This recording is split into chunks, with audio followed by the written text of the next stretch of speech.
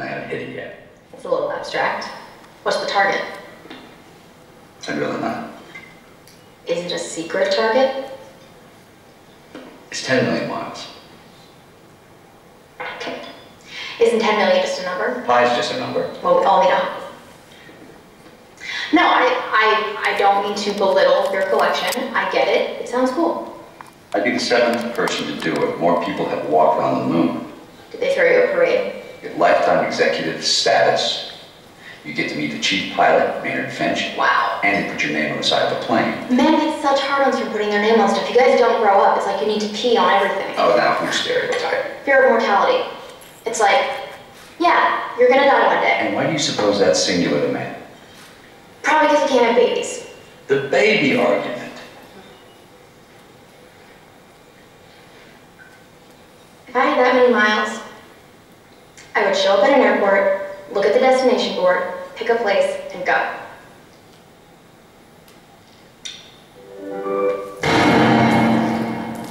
Deci cumva Loyalty 2.0 duce mai departe ceea ce uh, liniile aeriene au pionierat în anii 70. Uh, repet, nu o să stau acum să vorbim despre how, ci o să, o, o să vorbesc un pic despre ce e gamification. E vorba despre a aduce elemente de gaming într-un context de non-gaming, într-un context de business sau uh, education sau social sau ce-o fi. Uh, apoi, uh, e clar că ne e foarte greu să înțelegem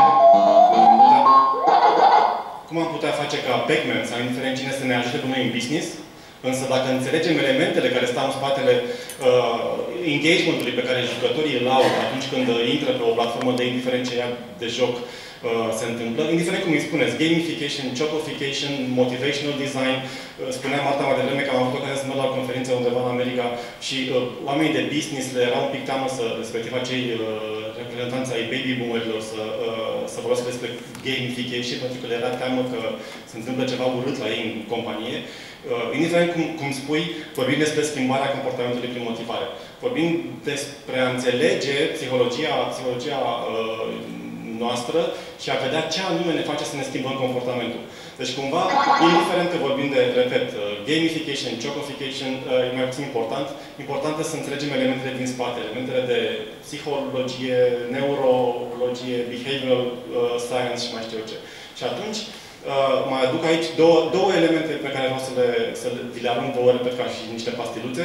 Vorbim despre, cu adevărat, stimulentele ne fac a ne schimba comportamentul, cu adevărat, uh, gratuitățile, a ceea ce se întâmplă astăzi în, uh, în comerțul, să zicem așa, larg, uh, e ceea ce ne face să ne schimbăm comportamentul, e cumva chestii ce plac, indiferent de ce natură uh, ne schimbă comportamentul.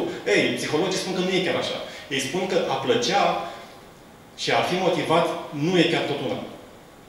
Și uh, aici intervine, de fapt, unul din primele elemente de gamification atunci când vine vorba de, uh, de conceptul sine la nivel de esența lui. De a înțelege faptul că avem de-a face cu pleasure, motivation, care sunt chestii total diferite, iar ceea ce, într-o formă sau alta, ar trebui să fie in the middle, e, e ceea ce îl face pe jucător să fie engaged. Jucător indiferent de ce natură denotat faptul că ce motivează un individ sau un grup să schimbe comportamentul ar putea să nu fie chiar exact ceea ce bănuiești tu. Dacă îi dai gratuități, dacă îi dai stimulente de orice natură, nu îi schimbă comportamentul. Și atunci, nu presupune ce investigează, vă dau o unealtă numită... Ce... Știți voi cum? Da? Cixen Mihai e un, e un psiholog renumit care aduce mai multe, mai multe elemente și aici cu, cu mulțumire către o firmă care face design de jocuri, sunt o mie de alte unelte care schimbă comportamentul. Uh, sunt uh, inclusiv frustrarea, inclusiv uh, tristețea, inclusiv, știu eu, o alarmă de orice natură ne face a ne schimba comportamentul, nu neapărat plăcerea în sine. Deci sunt un set complet de unelte. Și pentru a vă face mai departe curioși, o să vă dau o sursă extrem de importantă. El spune că undeva acolo, pe, pe, pe un funnel de mijloc, undeva a putea păstra un echilibru între, între plictiseală și frustrare poți să-l ții pe consumator engaged, consumator sau indiferent ce fie. Și atunci, ca să termin apoteotic, un mare grafic. Graficul respectiv nu înseamnă C4P al lui Kotler sau C4P al lui indiferent cui, Porter, I don't care. Deja vorbim despre cei patru fun, elemente de fun. Easy fun, hard fun, people fun și serious fun. Uh, nu... De, scuze? Nu detaliez, vă trimit pe www.4k2f, adică 4K to Fun. Uh, Duceți-vă pe 4K to Fun și acolo aveți, puteți să și downloadați, puteți să și, uh, într-o formă sau alta, citiți ceea ce scrie cu litere foarte, foarte mici uh, aici. Uh, Deci e o altă, o altă unealtă pe care vă recomand. Pe lângă uh, conceptul de a înțelege diferența între pleasure și motivation și alte surse, vorbesc despre cei patru key fun elements. Deci vorbim despre business pleasure, business and motivation, business and engagement. Vă, vă recomand cărți, e o carte relativ veche, deja, uh, Game-Based Marketing, uh, în care se vorbește oarecum pe larg despre liniile aeriene ca și esența loializării 1.0. Uh, O altă carte mai interesantă, un pic mai contemporană, să zic așa, adică de vreo 2 ani, uh, se numește Gamification by Design, iar ultima carte pe care și eu am reușit să o citesc și am abia a apărut, se numește Gamification Revolution, pe care chiar vă recomand să o citiți, pentru că acolo sunt explicate fiecare element în parte. Uh, mulțumesc!